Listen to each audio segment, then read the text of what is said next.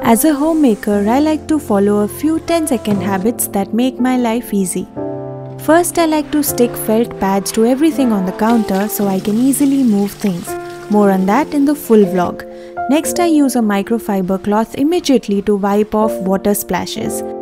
Take the extra 5 seconds to fold washroom towels to turn it from a hostel to a hotel like room. Use baking soda to make the carpets smell fresh.